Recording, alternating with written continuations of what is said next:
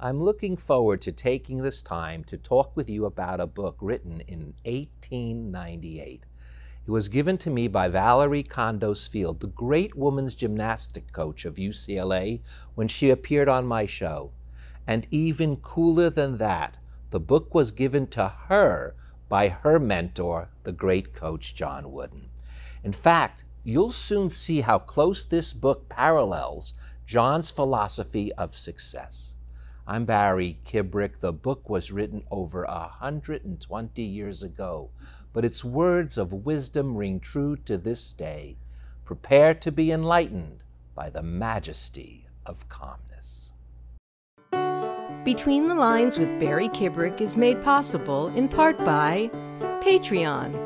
Patreon helps creators build and run membership businesses, from podcasters to writers, musicians, artists, and more, with tools that allow their fans to become patrons. More information is available at patreon.com.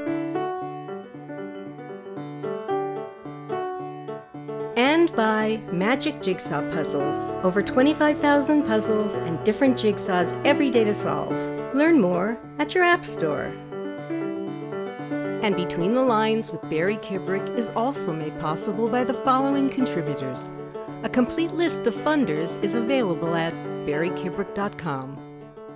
The Majesty of Calmness, written in 1898 by William George Jordan and had not only an effect on two great coaches, Valorie Field and John Wooden, but when I read it, it moved me so much that I was compelled to buy dozens of copies for friends and family, and now I want to share its wisdom with you. It begins like this Calmness is the rarest quality in human life.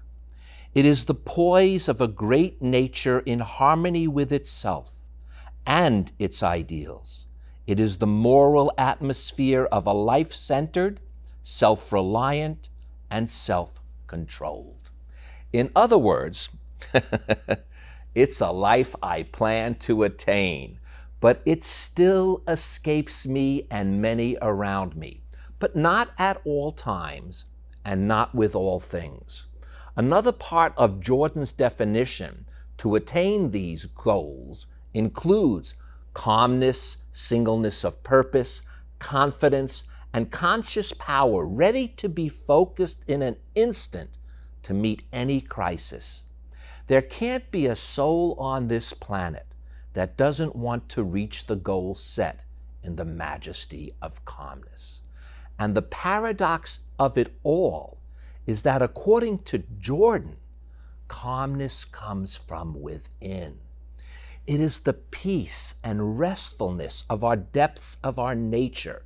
In other words, if we pay attention, close attention, we already possess it, even if we have to search deep within it and within ourselves to pull it out.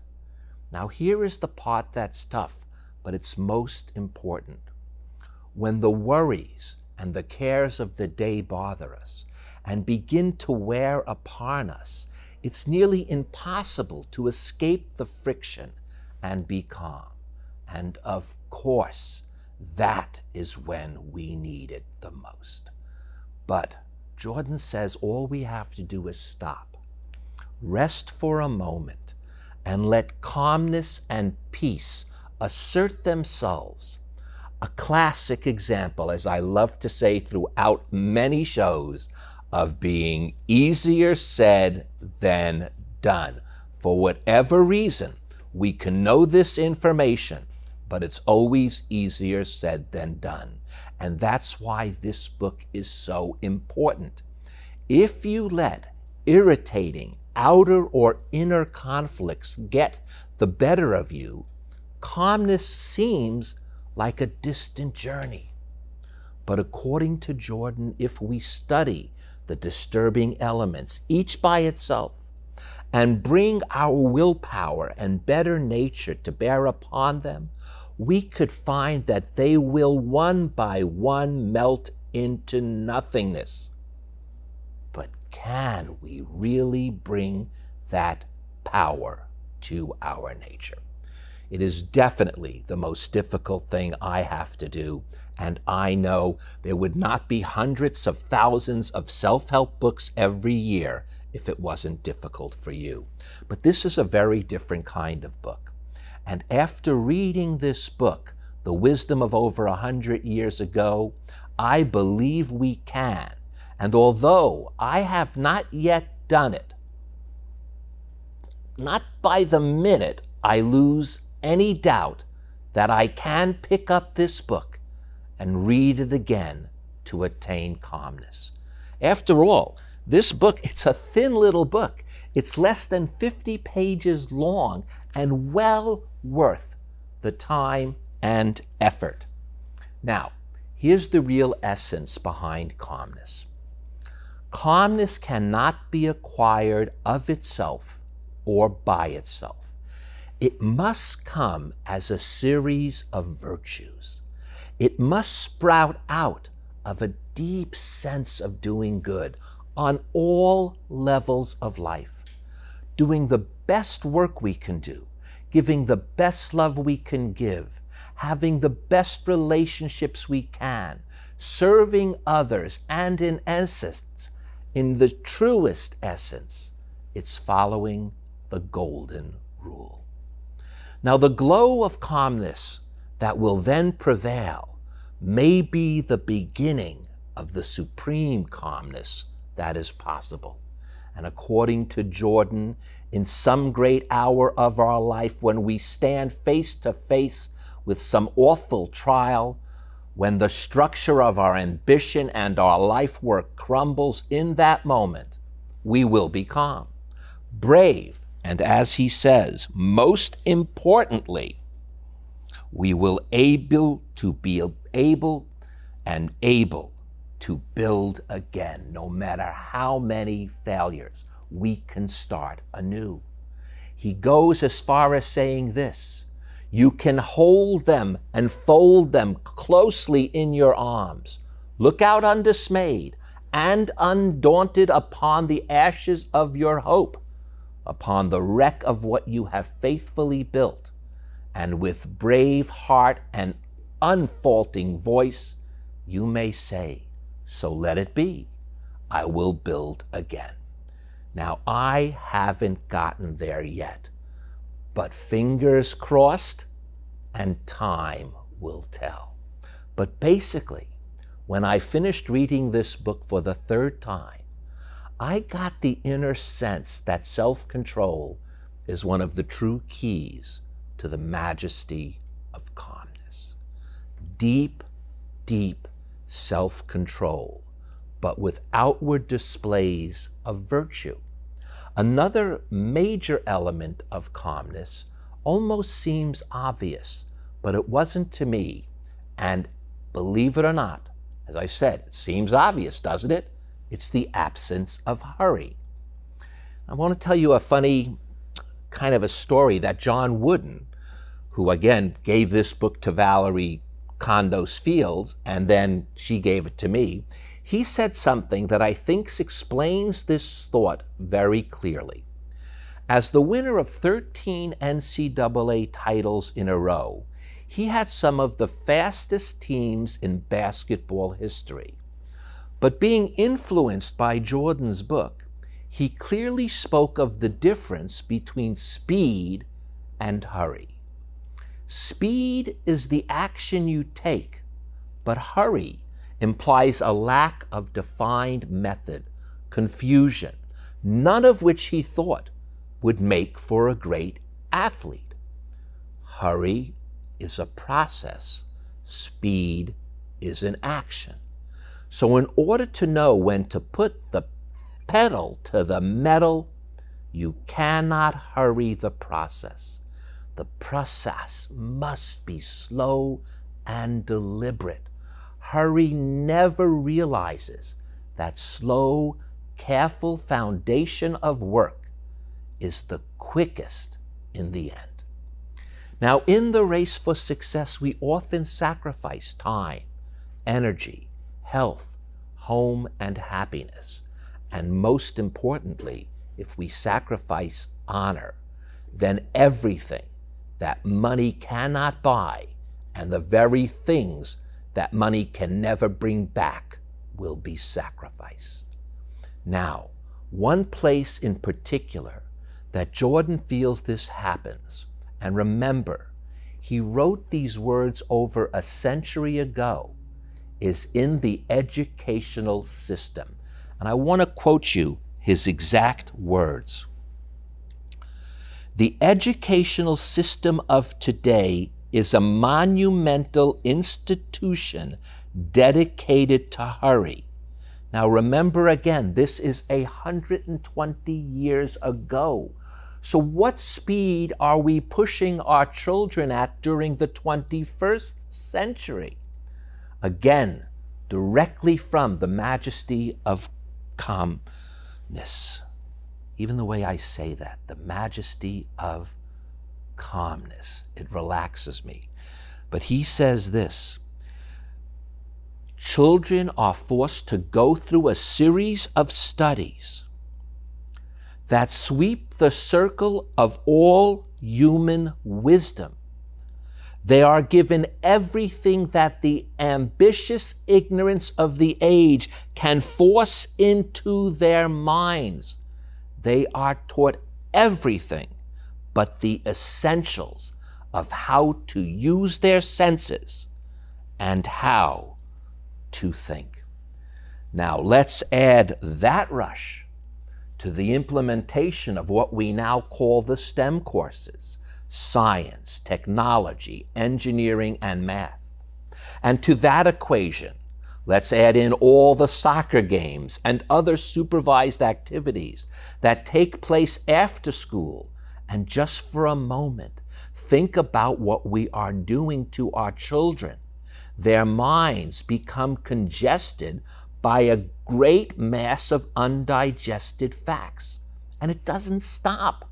We hurry them right next into college, then into life, and then, even if they have the greatest of educations, are they truly prepared for a life filled with daily changes and decisions? that must be made in a state of calmness? Jordan actually has a witty line about it. It goes like this He says, Education is in a hurry because she fails to do in 15 years what half the time should accomplish by better methods. Now, I have to say this. Although I agree with William about this, I do have a bit of a different take on what the final outcome will be. You see, in my paying job, not this one, I do not get paid for doing this, but I do get paid for working with children and education on an almost daily basis. I make my living by doing educational and professional development videos for teachers, psychologists, business people, and others in a variety of fields. And I deal with a variety of issues from trauma to student success and how a business becomes successful.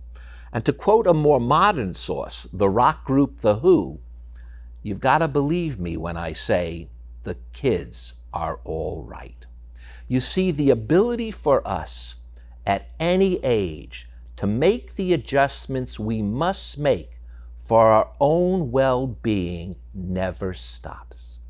No matter how many roadblocks, setbacks, or even the most horrific of situations we may find ourselves in, we have an undeniable knack of bouncing back and finding our equilibrium. Now, while we are undergoing those traumas, it is never easy. There's no doubt about it. But believe it or not, it's not just an opinion. It's an actual fact of physics. It's known as homeostasis, and it occurs within our bodies, our minds, our cells, and even at the smallest level of the atom to the vastness of space for whatever reason, the grand design of everything is to put itself in balance. So, matter how much out of whack we may find ourselves, whether on a societal level or an individual level, we will by nature seek and find balance. So, although we do hurry too much, I'm telling you, soon I'm going to predict we will slow things down just enough to maintain our own level of homeostasis. For wisdom and Jordan's book, The Majesty of Calmness, is proof itself that a solid philosophy lives through generations and centuries. But now let's go back to a personal level. One of the chapters in The Majesty of Calmness is called The Power of Personal Influence. William Jordan says these words The only responsibility that we cannot evade in this life is the one we think of least our own personal influence. But not so much on others or the world at large, but on our own unconscious influence, which, when we make the realizations, becomes our consciousness. And the effect that that has when it radiates outward into the world is amazing. For all of our actions affect all the forces of nature. From human relationships to global affairs, we as individuals have a power. We may not see it or realize it, but once again, science cannot deny it. In fact, the universe itself is mostly comprised of the unseen. And we, in turn, are forced to be in awe and wonder of what's invisible. You see, life is a state of constant radiation and absorption. To exist is to radiate. To exist is to be the recipient of radiation, according to William Jordan. Here's what else he says There are people in our lives whose presence seem to radiate sunshine, cheer, and optimism, and around them you feel calmed and rested and restored. And, as we know, there are others, unfortunately, in all of our lives that zap our energy and make us feel anything but calm. So, by that very nature, we have duties to others and to ourselves to create an atmosphere that keeps us living at our best. And if there is a fault that lies within us, we must do our best to master it. But listen carefully. If it is a part of our nature and we cannot do our best, what we must do our best then is find something that fits our nature and master that. The bottom line is to make our influence felt. We must live and practice what we believe and what is right. And no individual, not a single individual on this planet, is without influence. It is therefore imperative that we do our best at all times, even though we know that's absolutely impossible. We can never do our best at all times, but it must be the journey we travel. And one of the primary chapters in the majesty of calmness is doing our best at all times. The chapter begins with these words Life is a wondrously complex problem for the individual until someday, in a moment of illumination, he can awaken to the great realization that he can make it never simple, but always simpler. Again, I can't help it, and I know you can't help it. But at one time or another, we will face a dark night of the soul and begin to question our role in life. And when we do, we will literally paralyze our own best efforts. Yet living at one's constant best is a constant in itself. It's a constant if we seek true calmness.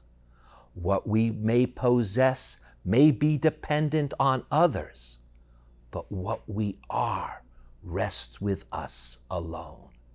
That's why, in order to develop a true majesty of calmness, we must also develop understanding of the importance of self reliance. Jordan believes that self confidence sees the possibilities of the individual, but self reliance realizes them. Self reliance also doesn't do anyone any good if it's all by oneself.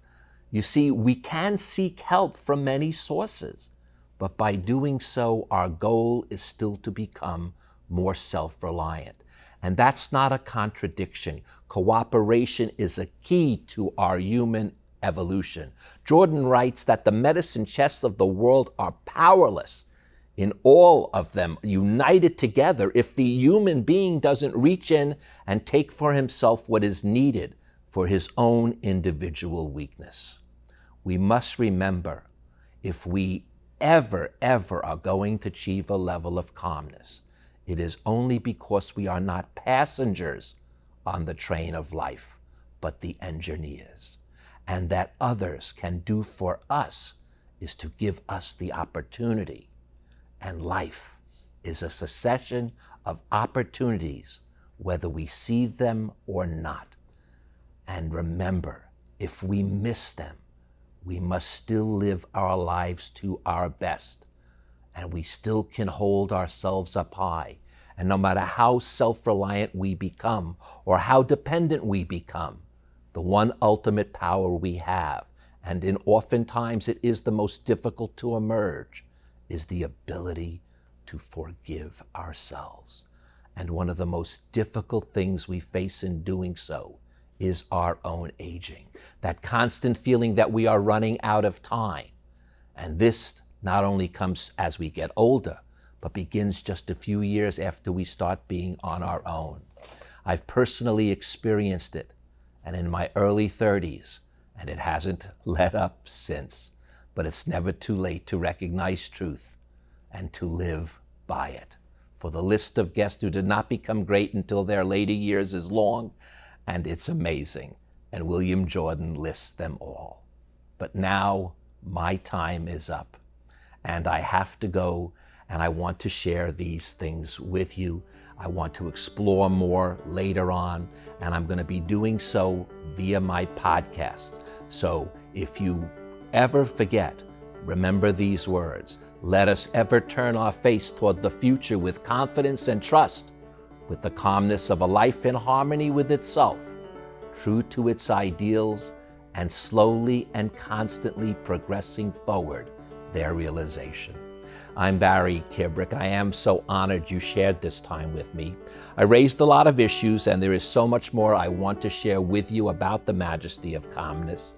But we didn't hurry, and our time is up, but not over. As I mentioned, I will be doing a podcast on this topic with a lot more details covering additional chapters and shedding more light on the subject.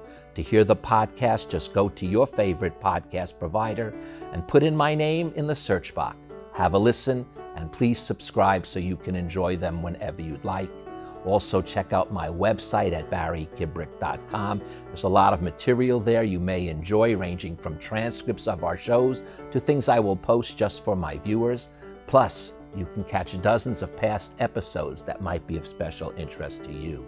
And if you'd like to connect with me personally, please email me at barry at barrykibrick.com with any comments or questions, and I promise to personally respond to each and every one. Till next time, turn all that past with its sad hours, weakness, and wasted opportunities into a light that will shine brightly in confidence and hope upon the future. To become part of the Between the Lines family, go to barrykibrick.com. There you can join our book club, participate in Q&As, catch past episodes, listen to Barry's podcasts, read his blog, and experience exclusive online features, all at barrykibrick.com. Between the Lines with Barry Kibrick is made possible in part by Patreon. Patreon helps creators build and run membership businesses, from podcasters to writers, musicians, artists, and more, with tools that allow their fans to become patrons. More information is available at patreon.com. And by Magic Jigsaw Puzzles. Over 25,000 puzzles and different jigsaws every day to solve. Learn more at your App Store. And Between the Lines with Barry Kibrick is also made possible by the following contributors. A complete list of funders is available at barrykibrick.com.